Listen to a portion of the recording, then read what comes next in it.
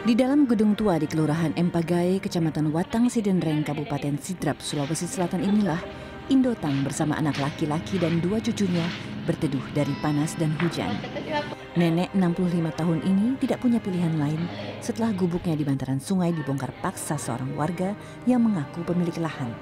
Padahal lahan itu sebenarnya milik pemerintah. Dalam kondisi serba terbatas, Indotang yang juga memiliki masalah pendengaran harus pasrah menjalani masa tuanya sambil merawat dua cucu yang dititipkan anaknya yang merantau ke Kalimantan.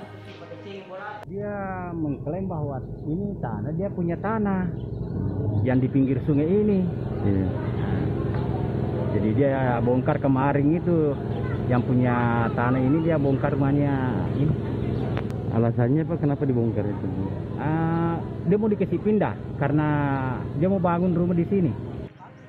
Setelah foto dan kisahnya yang miris viral di media sosial, Indotang mendapat kunjungan dari pemerintah Kecamatan Watan Sidenreng di tempat tinggalnya.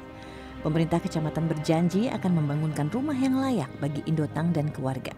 Ini kan tanah sebenarnya lokasi adalah tanah negara, tanah pemerintah. Uh, jadi semua masyarakat berhak untuk menggunakan, tapi bukan untuk memiliki. Tapi yang khusus ini ah, sudah ada yang tempati Pak, artinya Kalau sudah ini lokasi, uh, memang sudah ada yang mengklaim. Dengan dibantu para tetangga sekitar, rumah lama Indotang dibongkar untuk dibangun kembali di lahan kosong milik pemerintah yang belum dimanfaatkan. Hasrul Nawir, Sidrap, Sulawesi Selatan.